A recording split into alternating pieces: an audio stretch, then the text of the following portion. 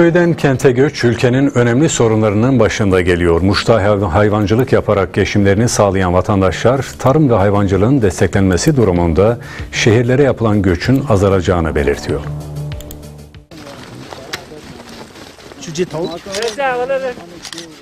Doğuda kış tüm soğukluğuyla devam ediyor.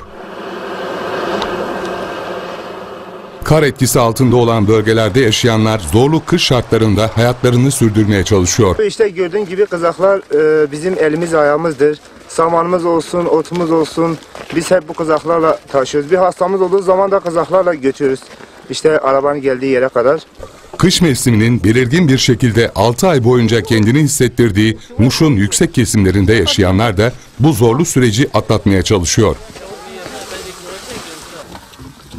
Geçimlerini hayvancılıkla sağlamaya çalışan Muşlular bununla beraber farklı sorunlarla da boğuşmak istemiyor.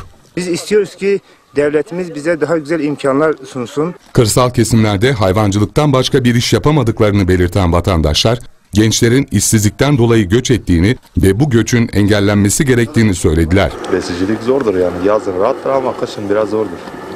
Kışın tipi olur, kar yağıyor. Bu atlar olmasa biz perişan oluruz. Piyasaya göre yemle ot pahalıdır yani.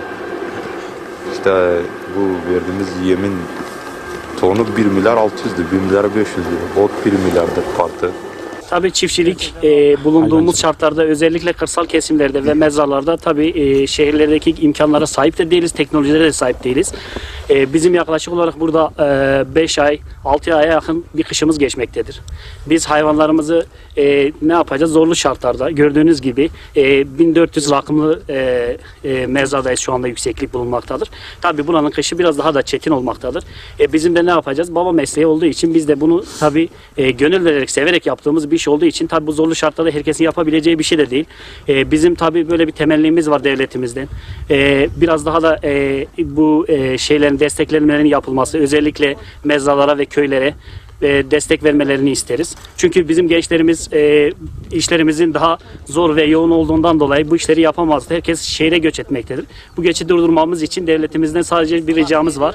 E, bize biraz destek verip de tabii bunu da biraz geliştirmek amacıyla bu mesleği sürdürmek ve bunu yapmak isteriz.